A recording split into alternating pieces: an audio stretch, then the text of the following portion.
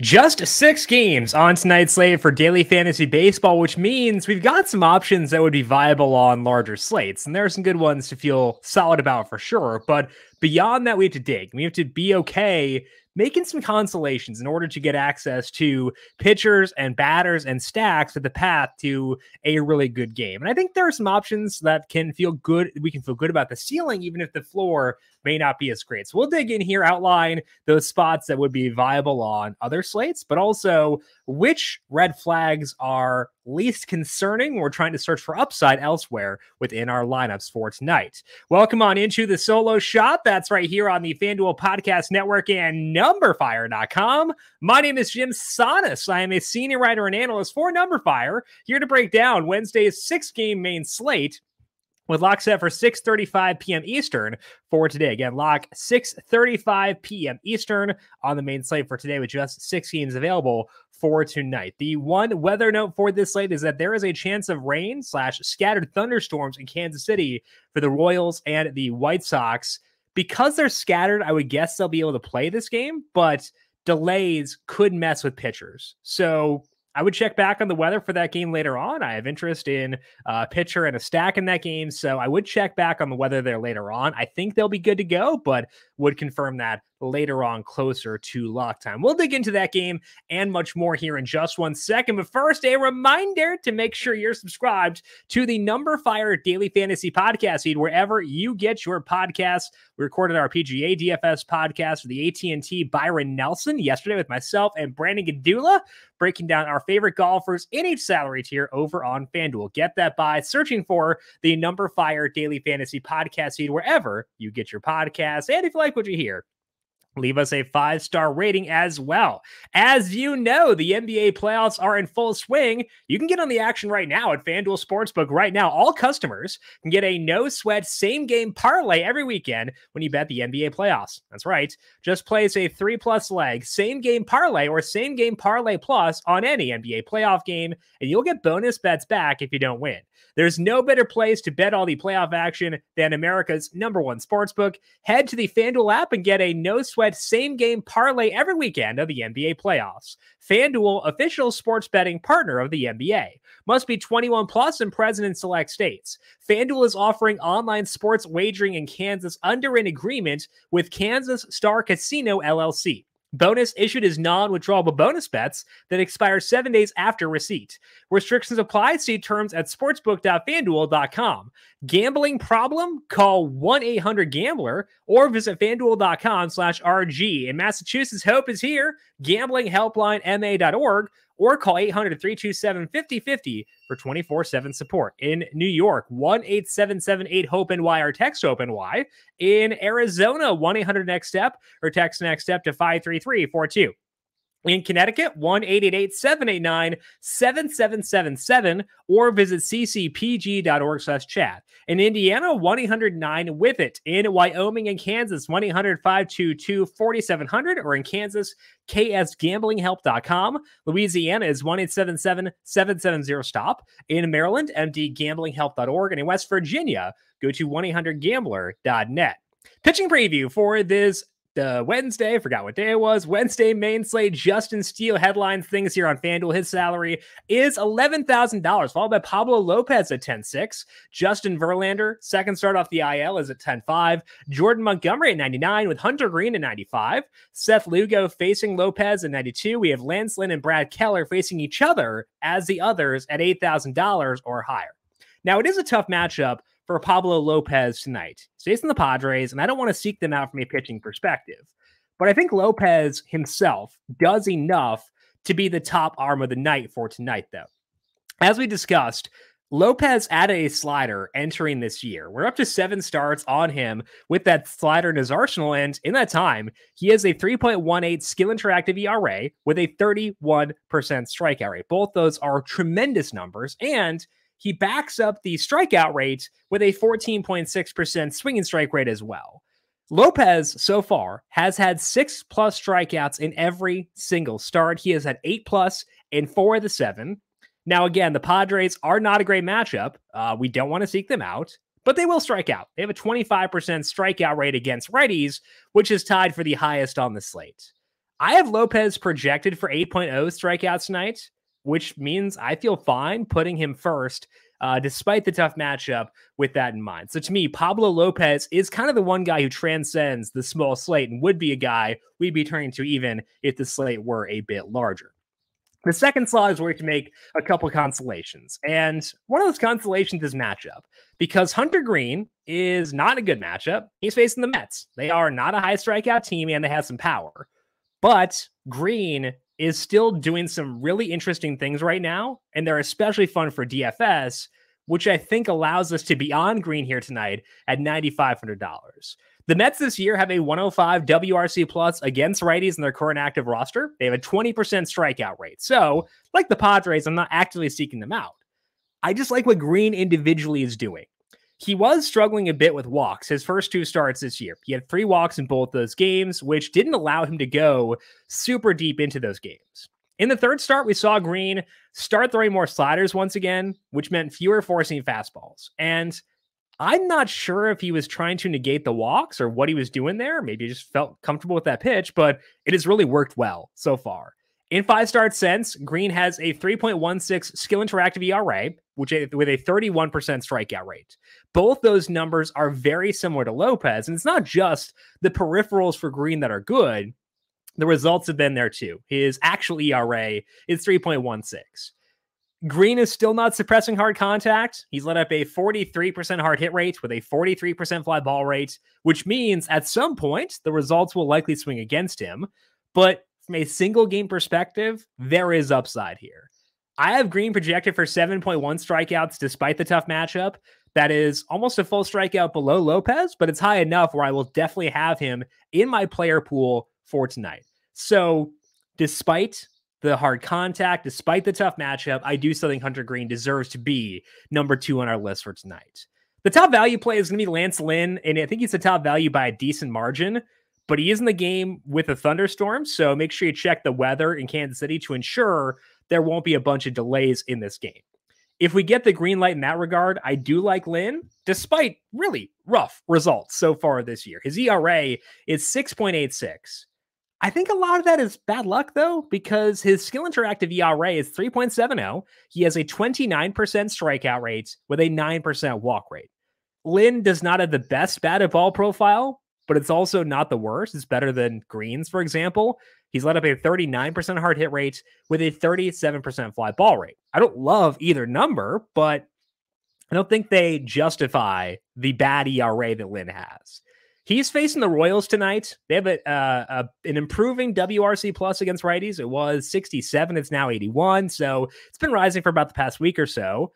They do strike out a lot, though. It's a 25% clip against righties with a 6% walk rate. I think that's enough to make Lynn viable here at $8,800. I'm not leaping to use him because the results are concerning, but he works well enough to be in play.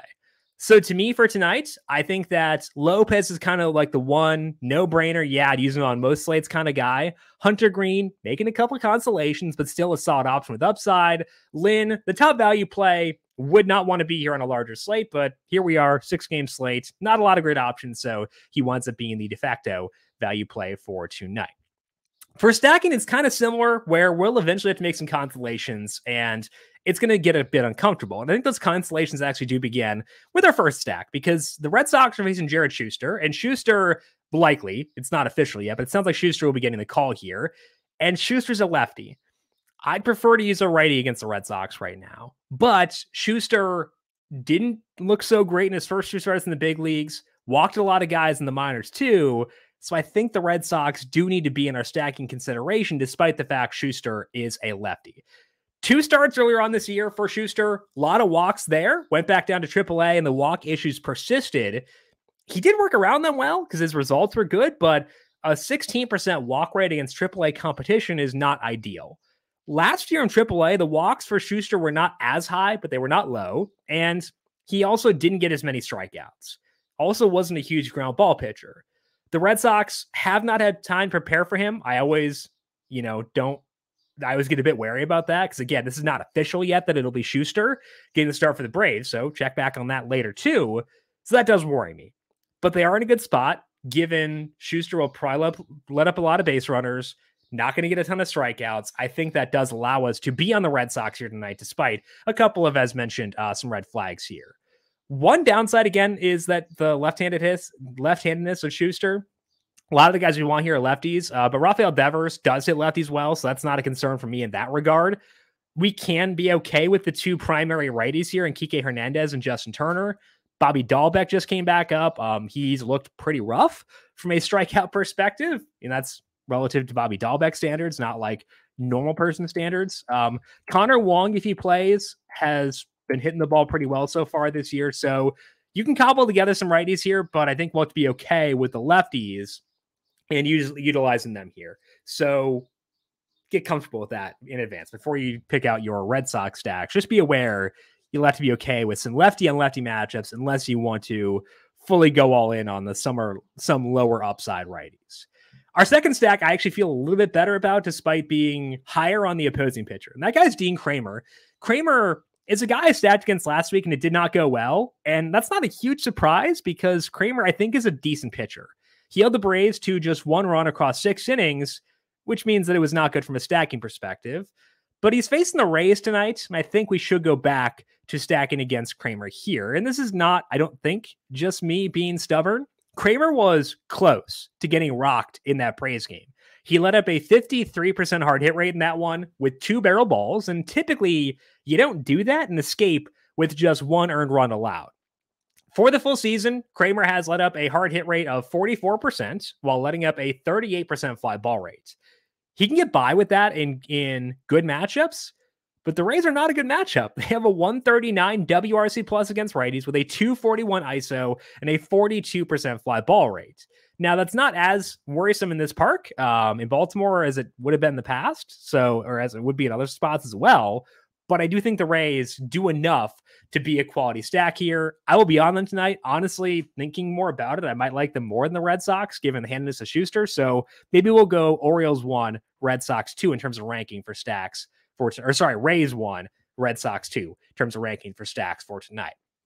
Part of what makes the Rays so fun is how good the depth of their pieces is. Like you've got the the primary guys within this Rays lineup who you want to use, but they're all super high salaried.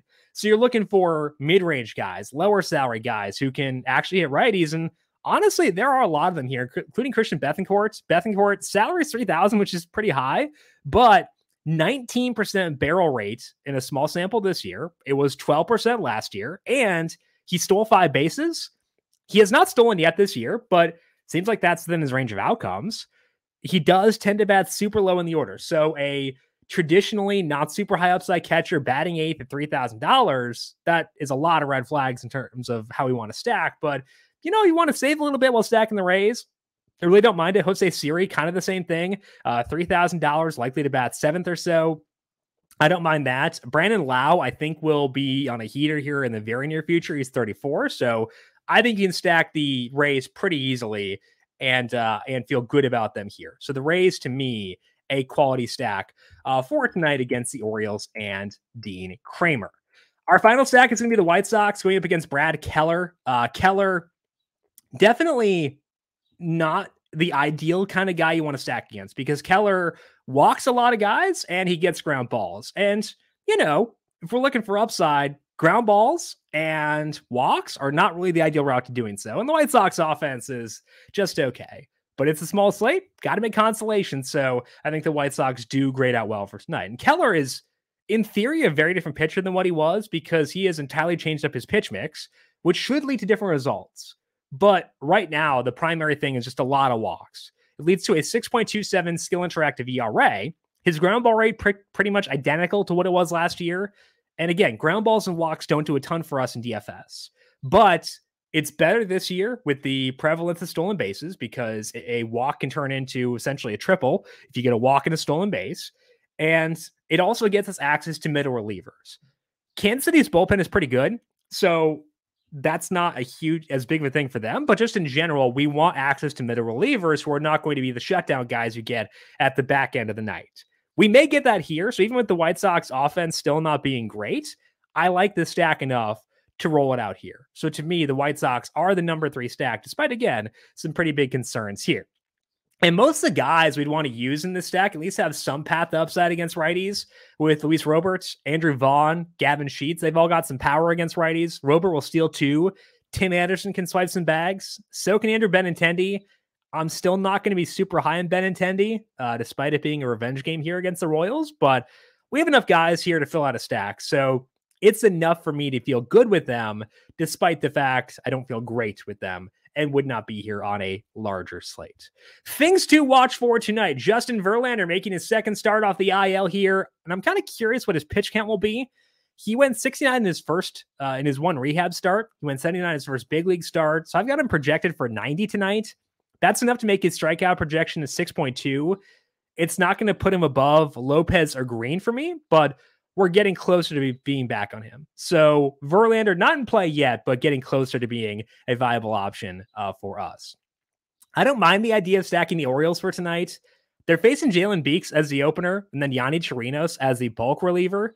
Chirinos has had great results this year, but he's letting up a lot of balls in play.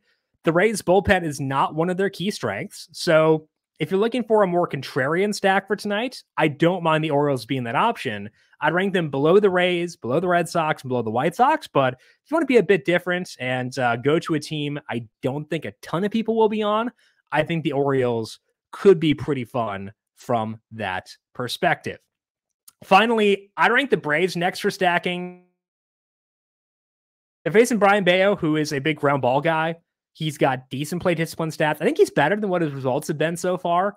So the Braves are fine, but I would not be here on a larger slate. So again, top three stacks for today. I'm going to go with the uh, the Red Sox, well, the Rays, then the Red Sox, and then the White Sox, followed by the Orioles, and then a drop off down to the Braves. Dinger calls for this Wednesday night. The boring one. I'm going to go Brandon Lowe again. Like I said, I think he's on the verge of a nice little streak here because He's barreling the ball a lot, you know, still striking out plenty, but he just puts the the bat on the ball, I think we could see some upside here soon. So Brandon Lowe, the boring home run call for today. The fun one, I will go Connor Wong. Again, it's a catcher, so there's always a chance that he does not play, but been hitting the ball pretty well so far this year, facing a lefty. I'm not huge on Kike Hernandez or Justin Turner, so we'll go with Connor Wong at 29 as the fun home run call for tonight. That is all that we have here for today on the solo shot. Again, though, if you want some PGA DFS action for this week at the AT&T Byron Nelson, check out our Heat Check Fantasy podcast over on the Number Fire Daily Fantasy Podcast feed. While you're there, if you like what you hear, leave us a five star rating as well. If you have any questions for me, I am on Twitter at Jim Sannes. J I M S A N N E S. You can also follow the FanDuel Podcast Network at FanDuel Podcast. Want to thank you all for tuning in for today. Good luck to you with your MLB DFS lineups for tonight. We'll talk to you once again tomorrow to break down Thursday's slate. This has been the solo shot right here on the FanDuel Podcast Network.